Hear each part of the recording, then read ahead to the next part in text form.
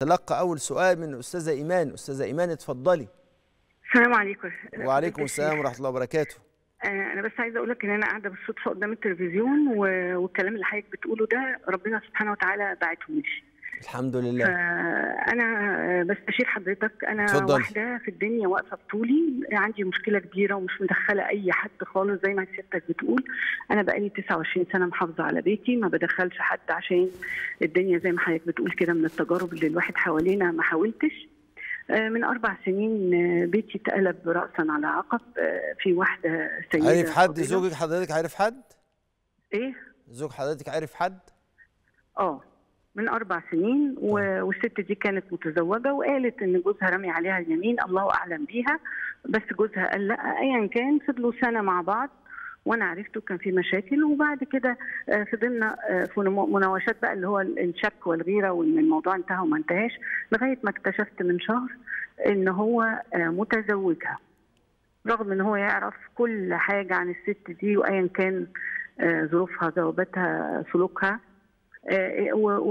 ويقال كمان إن الست دي أنا على فكرة أنا لسه راجعة من عمرة عشان تبقى فاهم ويعني مؤمنة وإخواتي مؤمنين ومصلين طب خلينا أنا نركز. خلينا نركز على عليكي أنت وزوجك آه، وسيبك منها أنا بس دلوقتي بقول لك إنها بيقولوا إنها معاها ميريت و... و... يا ستي ما أنا قلت لك أنا مش أنا عندي مش أنا. حسيت مش أنا أنا حسيت عايزة نصيحة أنت تقولها لي آه. زوجة 29 سنة معاها آه، ولدين مش مدخلة حد أعمل إيه يا فضيلة الشيخ انت بقالك 29 سنة مع زوجك. انت دلوقتي بقالك 29 سنة مع زوجك صح؟ آه. وانت لسه عارفة ان هو تزوجها من شهر. آه. تزوجها زواج موثق صح؟ آه رسمي؟ آه أنا طلعت طيب. ورقة وعرفت. آه يعني انت رحت عملت آه، قيد عائلي فعرفت آه المسألة وعرفت يا فندم. طيب. أقول لك إن أنا يعني آه، شلت معاه الشيلة عارف القفة اللي بيشيلوها اتنين كويس. والسيدات يبقى أنا- سؤال حضر- يعني مش هقول مش سؤال. سؤال هو حضرتك بيقول سؤال حضرتك دلوقتي هو إزاي أتعامل مع زوجي اللي اتزوج عليا وما قدرش ال 29 سنة اللي أنا كنت معاه فيها صح كده؟ آه وفروق فروق يا دو يا فندم يا دكتور فروق دي مستوى تاني خالص وجاي من حتة تاني وأخلاقيات ما- تاني طيب،. وسحر وحاجات كده يعني أنا هجاوب. حضرتك هجاوب حضرتك يا أستاذة إيمان بصي يا أستاذة إيمان عشان بس نبقى واضحين أنت لو كنت عايزة تكملي مع زوجك فلازم يبقى في أول حاجة اسمها القرار إحنا في الوقت دوت لأن كتير من الزوجات لازم يعرف الأزواج كده وفرصة إن أنا أقول للأزواج عشان يفهموا الزوجات بتعتبر إن جوز لو اتجوز عليها تاني ده نوع من أنواع الخيانة. فيجوا ال... يجوا ال... يجوا الناس للمشايخ ويقولوا لهم لو سمحتم آه أنتوا الخيانة إن الواحد يزني فأنا ما زنتش لا هو مش بتقول إن ده خيانة بمعنى إن ده زنا هي بتقول خيانة اجتماعية وعاطفية وإنسانية. يعني إيه؟ رسول الله صلى الله عليه وسلم بيقول أنا شارس آه، أنا ثالث الشريكين. الله سبحانه وتعالى يقول أنا ثالث الشريكين. إذا بر وصدق. ورسول الله صلى الله عليه وسلم يقول من غشنا فليس منا. فالكلام على هذا النوع هو نوع من أنواع الغش. فهي بتتكلم على خيانة الغش يعني الغدر. هي بتتكلم على الخيانة بمعنى الغدر.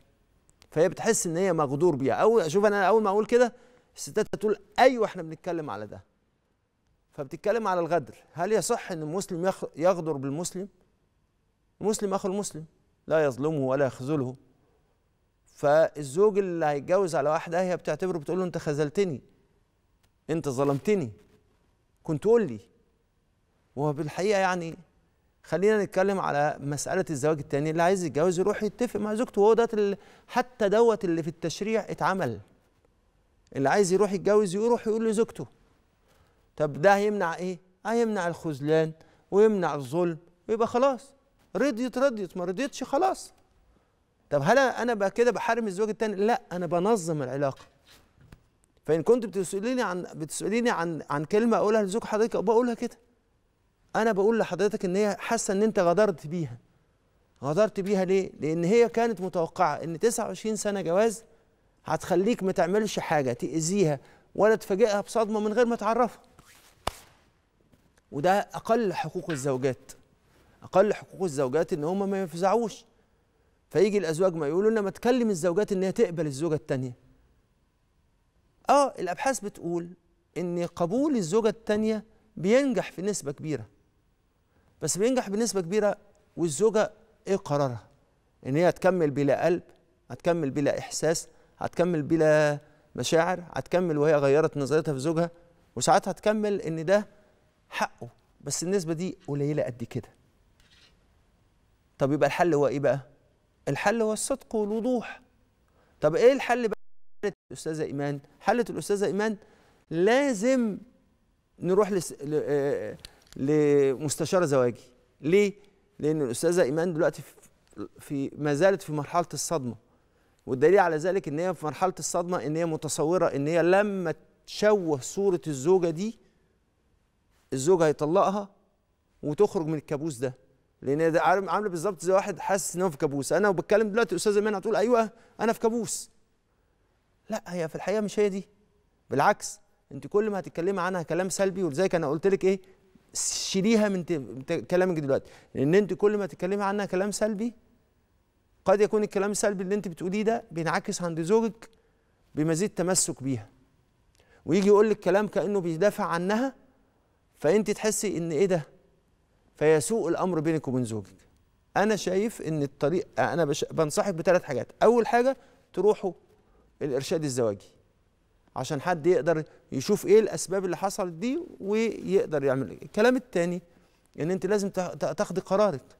أنت عايزة تستمري مع زوجك يبقى لازم عشان تستمري مع زوجك مش هقول هنقدم تنازلات هنغير من نمط حياتنا مع بعض بشكل أو بآخر.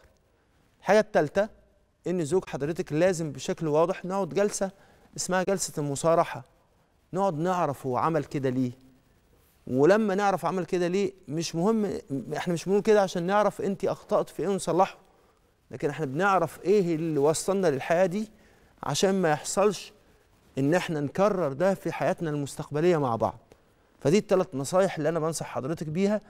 ومحدش يجي يقول هو عمل حرام أنا ما قلتش إن هو لما اتجوز جواز داني عمل حرام بس هو السؤال هل ده كان فيه شيء من الغدر ولا لأ؟ هو اللي عايز يتجوز الناس المتمسكين إن ده حلال مش الحلال ده بيتعمل بطريقة كمان حلال؟ مش الحلال ده بيتعمل بطريقة كمان مناسبة؟ اللي عايز يتجوز يتجوز بس يروح بكل شجاعة وبكل رجولة يروح يقول لزوجته سهلة الدنيا اللي عايز يتجوز يتجوز بس من غير ما يأذي حد. لأن هي لما تكسر خاطرها ده مش صح. هيقول لي هو في ست بترضى ان هي زوجها يتزوج عليها؟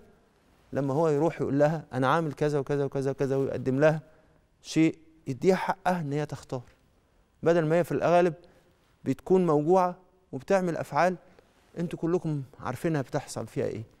لازم الواحد يكون حكيم ويقدر الأمور. اللي عايز يعمل ده يقدر إيه ال- ال- ال- إيه الأشياء اللي ممكن تحصل. ومفيش جواز أنا آسف يعني مفيش جواز بيستخبى. فعشان كده أنا بقول لكم نصيحتي. مش بقول بس الفتوى أنا بقول الفتوى بقول نصيحتي كمان. عشان بس إيه؟ الأمور تكون واضحة.